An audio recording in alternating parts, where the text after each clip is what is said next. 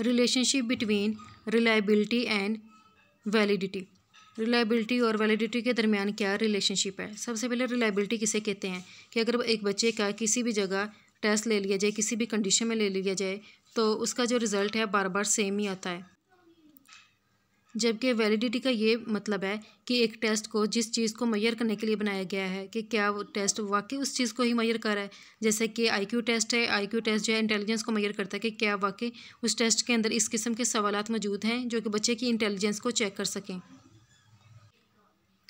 दूसरा रिलायबिलिटी और वैलिडिटी को इस तरह से भी समझा जा सकता है, जैसे कि एक बच्चा है, उसने अपना गोल बनाया कि उसने हंड्रेड में से नाइन्टी मार्क्स लेने हैं।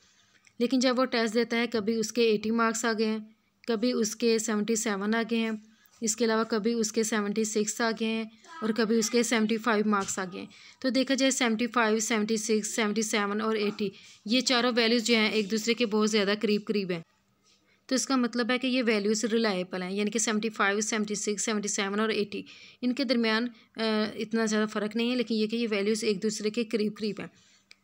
दूसरा, ये तरफ़ देखा जाए तो यहाँ पर नाइन्टी नाइन्टी के बारे में हम लोगों ने किस तरह से बात करनी है? अगर हम लोग सेवेंटी फाइव को नाइन्टी के साथ कंपेयर करें तो सेवेंटी फाइव और नाइन्टी के दरमियान काफ़ी ज़्यादा डिफरेंस है। सेवेंटी सिक्स और नाइन्टी के दरमियान काफ़ी डिफरेंस है। सेवेंटी सेवन और नाइन्टी के दरमियान कितना ज़्यादा डिफरेंस है। एटी और नाइन्टी के दरमियान कितना ज़्यादा डिफरेंस है। तो जो रिलायबिलिटी होती है, ये बार बार एक जैसा रिज़ल्ट ही प्रोड्यूस करती है। यहाँ पर जो गिवन वैल्यूज़ होती हैं, ये एक दूसरे के बहुत ज़्यादा करीब होती हैं। लेकिन वैलिडिटी के अंदर क्या होता है कि उस जो गिवन वैल्यू को, जो कि एक मेन वैल्यू है, इसका हम लोग कंपैरिजन करते हैं बाकी गिवन वैल्यू के साथ। जैसे कि सेवेंटी फाइव को हम लोग नाइन्टी के देखेंगे तो सेवेंटी फाइव जो है, वो नाइन्टी के पास नहीं है। यानी कि इसके दरमियान काफ़ी ज़्यादा डिफरेंस है इन दोनों के दरमियान। सेवेंटी सिक्स का भी इसी तरह सेवेंटी सेवन और एट्टी का भी। अब ये एक सर्कल है।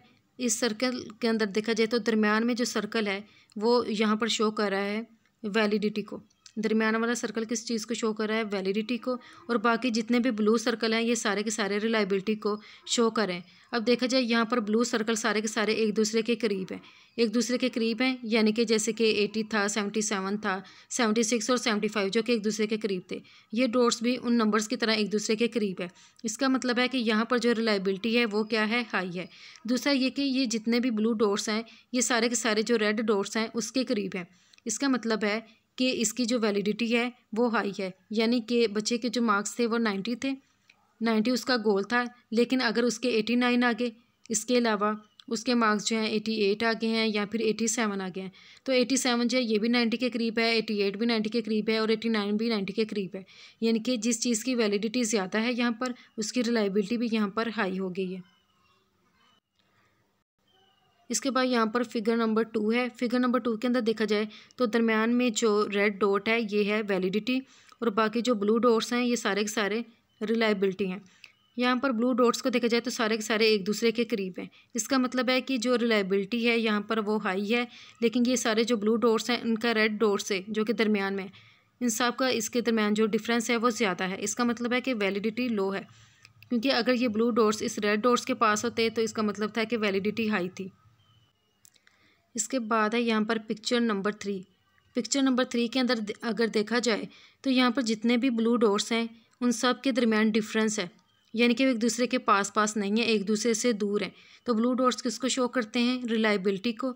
तो जब ब्लू डॉट्स एक दूसरे के पास नहीं है, इसका मतलब है कि जो रिलायबिलिटी है, वो लो है। दूसरी तरफ़ यहाँ पर देखा जाए तो तीन जो ब्लू डॉट्स हैं, ये वैलिडिटी ये वैलिडिटी कौन सी? यहाँ पर सेंटर वाली। तो ब्लू डॉट्स जो हैं सेंटर वाले के साथ हैं। सेंटर वाले रेड डॉट्स के पास पास हैं। इसका मतलब है कि जो इसकी वैलिडिटी है, वो हाई है, जबकि ये वाला ब्लू डॉट भी इसके साथ है, ये वाला भी और ये वाला भी। यानी कि जो ब्लू डॉट्स हैं, वो रेड डॉट्स वाले के साथ है तो इसका मतलब है कि इसकी वैलिडिटी हाई है। इसके बाद यहाँ पर जो पिक्चर नंबर फोर है, ये है पिक्चर नंबर फोर यहाँ पर देखते हैं कि जितने भी ब्लू डॉट्स हैं, उनका आपस में जो डिस्टेंस है वो काफ़ी ज़्यादा एक दूसरे के पास नहीं है। तो ब्लू डॉट्स किसको शो करते हैं? रिलायबिलिटी को। ये डॉट्स एक दूसरे के करीब करीब नहीं है, बल्कि एक दूसरे से दूर है। इसका मतलब है यहाँ पर जो रिलायबिलिटी है, वो लो है। फिर इसके अलावा अगर देखा जाए, यहाँ पर जितने भी जो ब्लू डॉट्स हैं, उनका जो फासला है, जो दरमियान वाला रेड डॉट्स है, जो कि वैलिडिटी को शो कर रहा है। तो सभी जो ब्लू डॉट्स हैं, उनका जो डिस्टेंस है, इसका भी ज़्यादा है, इस वाले का भी, इस वाले का भी। यानी कि काफ़ी ज़्यादा जो ब्लू डॉट्स हैं, उनका दरमियान वाले रेड डॉट्स से जो फासला है, वो ज़्यादा है।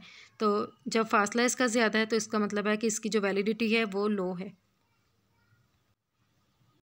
रिलायबिलिटी और वैलिडिटी का जो रिलेशनशिप है, ये एक दूसरे के बहुत ज़्यादा करीब है।